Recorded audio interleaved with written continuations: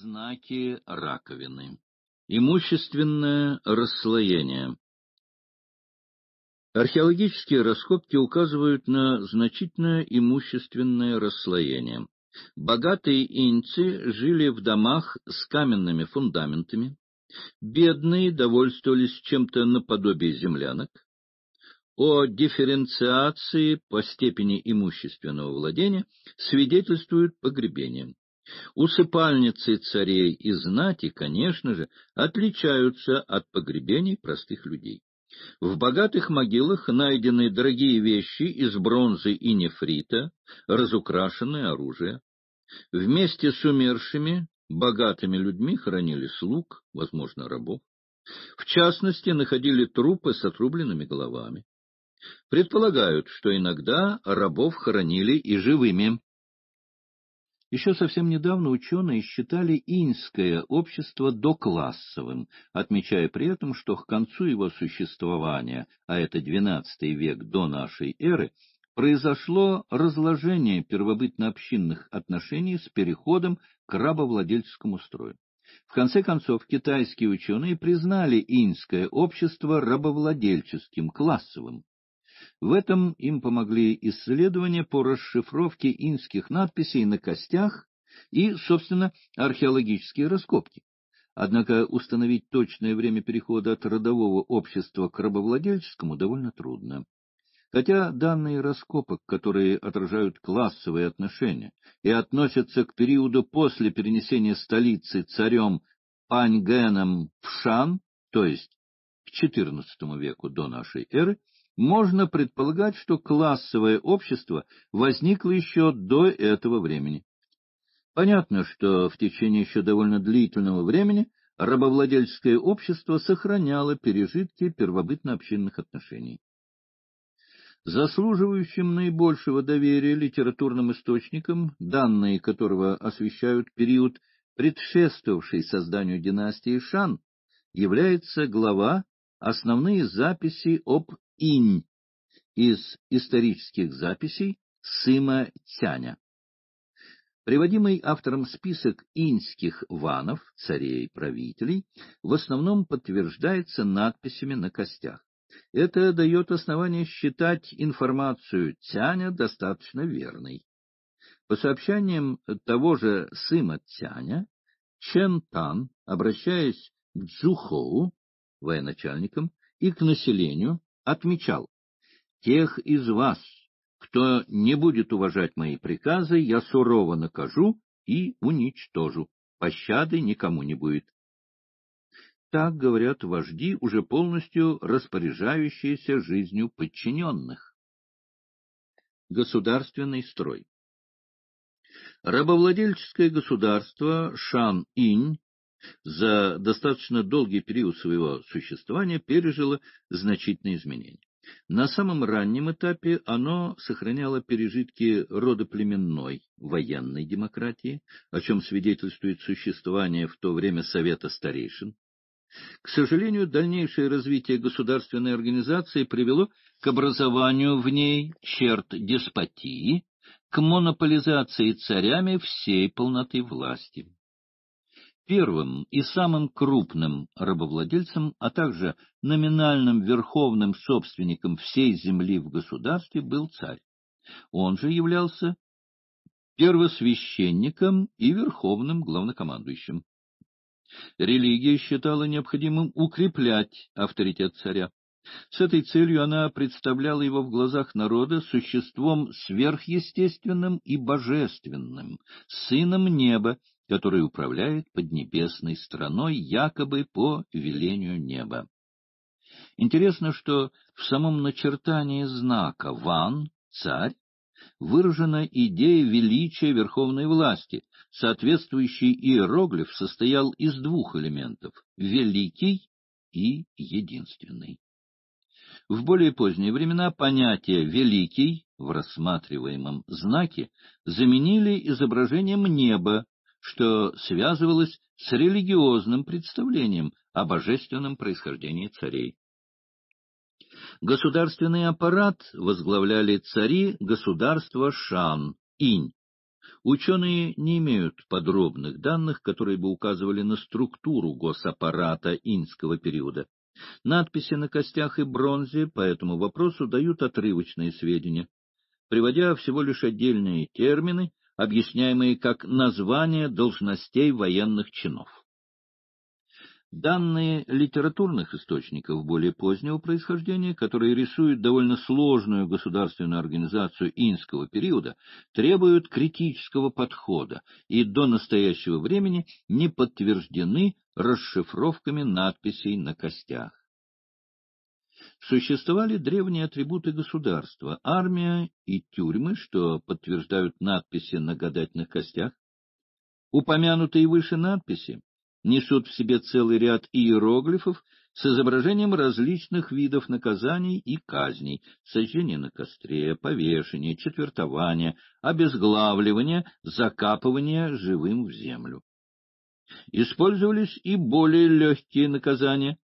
Отрезали нос и уши, отрубали руки и ноги, выкалывали глаза и так далее.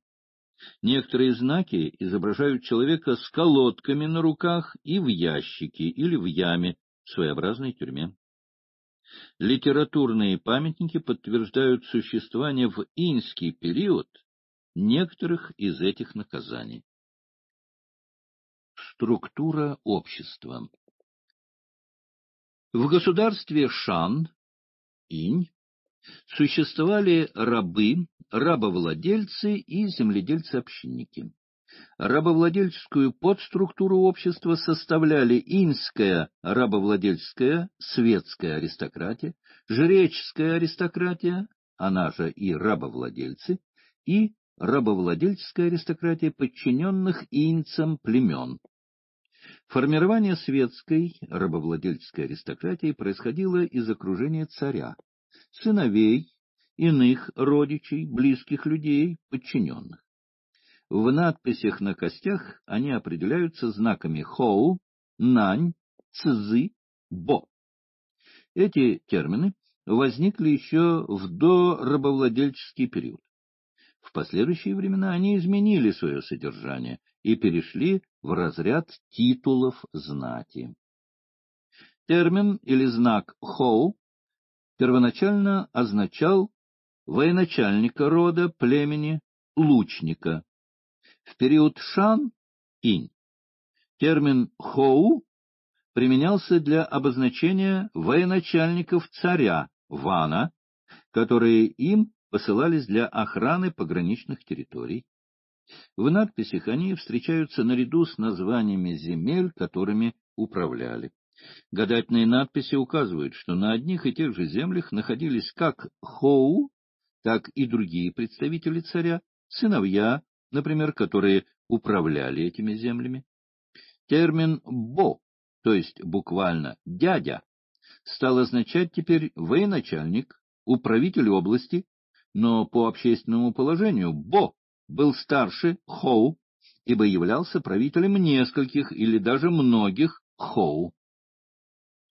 Термин «дзы» со значением «сын» стал впоследствии обозначать сыновей царя. Очевидно, что сыновья также назначались управителями областей. В многочисленных надписях инцев обнаруживаются сочетания знаков «дзы» с названиями местностей. Например, «дзы-джен», «дзы-суй», что означало «царский сын области Джен», то есть посланный в Джен, царский сын области Сун и так далее. Со временем знак стали применять для обозначения аристократического титула вне зависимости от того, был ли его носитель сыном царя или нет. Вожди некоторых племен, подвластных инским царям, также получали от правителей почетные звания Хоу и Бо. Особенно это практиковалось в конце периода существования Инского царства, когда оно ослабевало под натиском соседей. Жреческую рабовладельческую аристократию составляли жрецы, колдуны, предсказатели, чревовещатели. Они занимали очень важное место в государстве Шан, Инь, ибо помогали царю и рабовладельцам в управлении массами рабов и свободных общинников. Свободные общинники-земледельцы являлись значительной частью населения времени Шан, Инь, играя достаточно важную роль в государстве. Древние литературные источники Китая свободных земледельцев называют по-разному. В книге документов Шудзинь они фигурируют как народ, Тинь, мелкий люд, Сяоминь и так далее. Свободные общинники были не только одним из главных производителей слоев общества, но представляли и значительную политическую силу, с которой рабовладельцам приходилось считаться. О книге исторических преданий или книге документов следует сказать, что это памятник классической конфуцианской литературы. Точная дата появления книги неизвестна, Однако она существовала уже при Конфуции, шестой-пятый века до нашей эры. До нас дошла в более поздней редакции. Несколько глав созданы в пятом-третьем веках до нашей эры. Материалы, содержащиеся в книге документов, имеют отношение как к первобытно-общинному строю, так и к обществу, в котором появились рабы. Последние находились в очень тяжелом положении. Их могли продавать, дарить, лишать жизни, обменивать на вещи. Чтобы они не могли бежать, их клеймили, рвали ноздри, заковывали в колодки или кандалы, отрезали уши и так далее. Рабы выполняли самую грязную и тяжелую работу. Как уже упоминалось, их приносили в жертву богам. Одна из гадательных надписей извещала «Приносится в жертву раненый раб».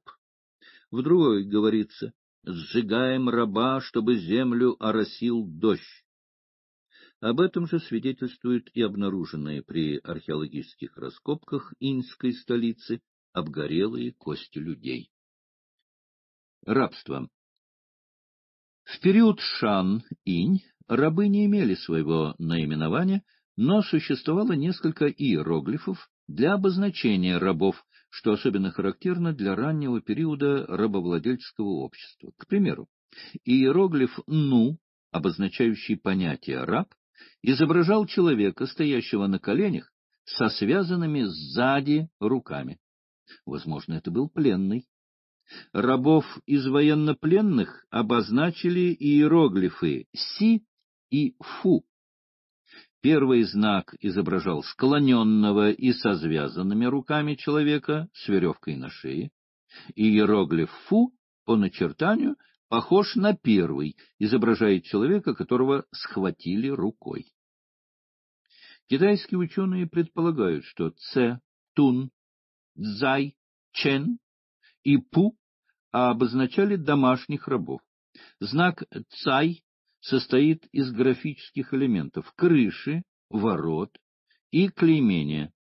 Возможно, он обозначал рабов, исполняющих работы внутри дома. Иероглиф «Ц» состоит из неполного знака «синь» — клеймения, и иероглифа, который означал «женщину», то есть выражал понятие «женщина с клеймом», «рабыня».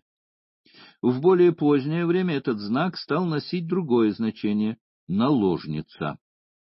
Иероглиф «пу» изображал человека с клеймом на лбу. Иероглиф «чэнь», возможно, означал смирившихся военнопленных, которых хотя и превращали в рабов, но за их покорность выделяли среди остальных, поручали им служебные задания, например, наблюдение за другими рабами. Отсюда и более позднее значение знака «чэнь» — слуга, клерк, чиновник. Рабство поддерживали постоянные войны инцев с соседними племенами и захват пленных, а также ряды рабов пополнялись за счет осужденных. Последнее утверждение, однако, носит только предположительный характер. Помимо этого, знать и цари получали рабов от подчиненных племен, рабов присылали в качестве дани и наряду с другими предметами. О поступлении этих рабов в иньскую столицу сообщают и гадательные надписи на костях. Использовались рабы по преимуществу в скотоводстве и частично в земледелии. В надписях иньского периода говорится об обработке полей пленными из племени Тян. В других надписях находим прямые указания на то, что в скотоводстве использовался труд рабов из захваченных пленных. Рабы служили ездовыми на охоте, чаще всего они были из зависимых племен. Рабов, как считают некоторые ученые, использовали и для обслуживания церемоний жертвоприношения, уход за жертвенным скотом и его заклание. Сельская община и земельные отношения Еще до времени возникновения государства Шан, Инь, в земельных отношениях произошли значительные изменения. Распадалась родовая собственность на земли. Со временем племенные вожди, усиливая свою власть и превращаясь в царьков и царей, стали единолично распоряжаться общинной землей, считая ее государственной собственностью. Данные о том, что иногда ваны, правители, дарили землю своим подчиненным, встречаются в надписях на инской бронзе наряду с информацией о пожаловании рабов. Впрочем, это отнюдь не означает, что аристократы и рабовладельцы имели только подаренную землю. Скорее всего, в руках знати оставалась и какая-то часть родовых земель, попавшая к ней в результате распадения первобытно-общинных отношений и самой родовой общины. Правда, стоит отметить, что данных о переходе каких-либо земель в полную частную собственность нет. Свидетельства о купле-продаже земли или о ее закладе отсутствуют как в литературных китайских источниках, так и в надписях на костях и бронзе. Нет достоверной информации и о каких-нибудь царских хозяйствах периода царства Шан-Инь. В общественных отношениях иньского времени ведущую роль играла община. В надписях на костях она изображалась знаком «и», то есть поселение людей. Вероятнее всего, это было селение община или несколько общин в совокупности. В более позднее время этот иероглиф стал обозначать понятие города, территории средней величины владения. К сожалению, надписи на костях и бронзе не позволяют представить общую картину распределения земли и внутреннюю организацию общины. Для обозначения полей использовался знак «колодец». Если его обвести линиями, то получим фигуру, в которой девять квадратов, то есть девять полей. Впрочем, сам иероглиф «поле» иногда изображался также в виде девяти квадратов. Как сообщал в IV-III веках до нашей эры философ Мэн Цзи, восемь полей будто бы находились в частном пользовании восьми семейств, а девятая, которая находилась в центре, обрабатывалась сообща всеми восемью семействами. Манзы утверждает, что такое распределение земли характерно для времени, следующего за периодом Шан-Инь. Однако в позднейших сочинениях встречаются указания, относящие подобный порядок землепользования и к рассматриваемому нами времени. Все вышеизложенное дает исследователям основания предполагать, что общинное пользование землей во время Шан, Инь, было организовано по принципу колодезных полей. Исходя из данных исторических источников, можно предположить разделение земли свободных общинников на две категории – сытянь, то есть частные поля, и гунтянь, то есть общественные поля. Последняя обрабатывалась совместно общиной, весь сбор урожая поступал старости общины, который отправлял урожай управителю данного района или области, а тот, в свою очередь, отсылал собранное со всего района в столицу, царю царства Шан-И. Поля Сы-Тянь находились в индивидуальном пользовании каждой семьи. Сбор урожая с этих полей шел на прокормление свободных общинников. Интересно, что частные поля не были собственностью их владельцев. Кризис инского государства и падение царства Шан. Инь. Бегство рабов от своих хозяев было в те времена обычной формой выражения протеста против рабовладельцев. В надписях, обращенных к оракулу, ставится вопрос о том, убегут или не убегут рабы. Вопрос, заданный гадателю, сформулирован следующим образом. «Потеряю ли я рабов?» Подобные записи относятся и к периоду правления Вендина в XII веке до нашей эры. Фактов активного сопротивления рабов китайские литературные источники и надписи не приводят, но есть свидетельства о случаях протеста разорившихся общинников. Когда царь Пань Ген 1401-1373 годы до нашей эры, решил в 1388 году до нашей эры перенести свою столицу в другое место, называвшееся Шан-Инь. С переселением туда жителей он встретил недовольство своих подданных. Об этом протесте в Шудзине говорится следующим образом. Народ Инь печалился и тяжело вздыхал, роптал и не желал переселяться. Согласно некоторым сообщениям китайских источников, ученые делают вывод, что внутренние противоречия в рабовладельческом обществе Шан, Инь, к этому времени значительно обострились. Усилению кризиса инского государства способствовали учащение войн и довольно интенсивная эксплуатация рабов и свободных. У Сыма Цяня часто встречаются негативные характеристики инских царей. Особенно резкие оценки получил последний инский царь Шоу Ди Синь, который властвовал в 1154-1122 годах.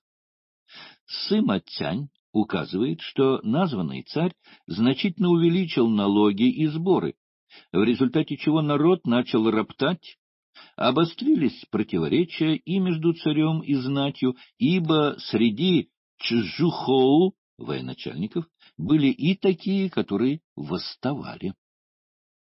Шу Цзинь дает прямые указания на восстание в XII веке до нашей эры не только знати, но и простых людей. В главе «Вейский правитель», брат последнего инского царя, управлявший владением Вэй, например, нарисована картина всеобщего недовольства деспотизмом царя. В ней говорится, Сяо Минь, мелкий люд, свободные общинники, восстает и враждует друг с другом. Ныне царство Инь разрушается. Чтобы уничтожить переживавшее агонию царство Шан, Инь, достаточно было одного сильного толчка. В конце концов, оно пало под ударами извне. Племя Джоу стало его могильщиком, а помогла более могучим пришельцам инская рабовладельческая аристократия, восставшая против своего царя Шоу-Ди Синя. На протяжении всего периода своего существования государство Шан-Инь вело постоянную борьбу с соседними китайскими племенами. Многие из этих племен были покорены государством инцев и вошли в его состав. Иные же были превращены в рабов. Некоторые более сильные племена оставались формально самостоятельными, но фактически подпали под влияние царей династии Шан-Инь. Иньцы предусмотрительно не изменяли у этих племен общественных порядков, не трогали их старейшин, даже наделяли последних почетными званиями, но обязывали посылать дань инским царям. К этим подчиненным образованиям относились племена Цян, Шу, Чжоу. Со временем они настолько окрепли, что перестали посылать дань, а затем и сами стали вторгаться в пределы царства Шан-Инь.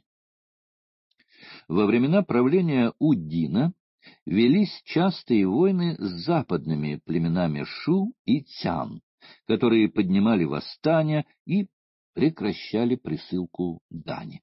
На инских гадательных костях встречаются следующие записи. царь приказывает, следует указание, кому конкретно, воевать против цян. Временные победы инцев над племенами не приносили постоянного мира. Восстания приняли особенно большой размах во время царствования уже упоминавшегося последнего царя инцев Шоу-Ди-Синя. Он лично принимал участие в подавлении одного из таких восстаний, о чем свидетельствуют многочисленные начертания на костях и на бронзе. После подавления племени Женьфан возникла еще большая опасность, ибо против инцев выступила коалиция племен во главе с племенем Джоу. В период, когда на троне Шан-Инь находился царь Сяо-И, племя Джоу переселилось с запада на восток Китая на территорию Ци, теперь это провинция Шэньси. Уже к XII веку до нашей эры оно должным образом упрочилось в долине реки Вэй, интенсивно развивая культуру земледелия. Занималось это племя и скотоводством, особенно разведением свиней. Они же выплавляли металл, знали предение и ткачество, другие ремесла. В общественные отношения привносились элементы рабовладения, что подтверждает изменившийся характер войн, которые вело племя Джоу. Теперь они воевали с целью захвата рабов и грабежа имущества. Новые цели войны выражены в напутствии вождя Чжоу Увана своим воинам накануне последнего похода против царства Шан-Инь. На полях Шан не нападайте на тех, кто перебежит к нам. Пусть работают на наших западных полях. Известно, что вожди Джоу состояли в тесных контактах с инскими царями, являясь данниками последних. За услуги в борьбе с другими племенами инские цари часто жаловали вождей племени Джоу землею и имуществом, одаривали титулами рабовладельческой аристократии, разрешали им в особых случаях наказывать непокорные племена и тому подобное.